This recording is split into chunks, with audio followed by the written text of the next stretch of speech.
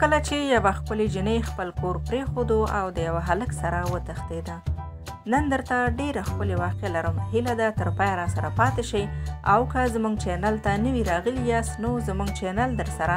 حتما سبسکرایب کړئ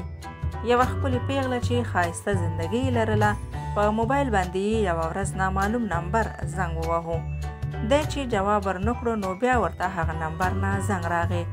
نو د زړه نازړه موبایل اوچت کړو چې د یو هلک اواز وو موبایل یې ور باندې قطع کړو دا جنې قصه کوي چې د شپې هماغه هلک زما د فیسبوک آیډي ته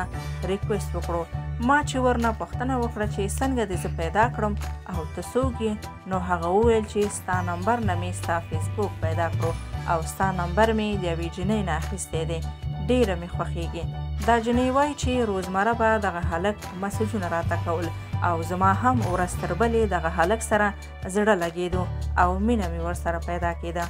داسې وخت راغی چې کله به د هلک زما د مسج جواب رانه کړو نو ډیره غوسه براتله او هر وخت به مې غوښتل چې د هلک سره ووسم د هلک هم زما د مینې نه غلطه فایده اوچته کړه او راته یې وویل چې لس بجې راوځه چې یو ځای ته چکر ووهو ما هم ورسره ومنله او په ټاکلي وخت د کوره ووتم د هلک سره موټر کې کیناستم او روان شو ګورم چې یو کلی کې یو کور ته دننه کړم هلته د دې هلک نور ملګري هم وو نو ټول په خندا شول او هغوی کې یو کس د هلک ته پیسې ورکړې او هلک لاړو نو زه پوه شوم چې زندگی مې تباه او برباد شوه نو درنو خویندو خپل حیا او عزت وساتئ او د داسې کاذبه مینې څخه ډډه وکړئ.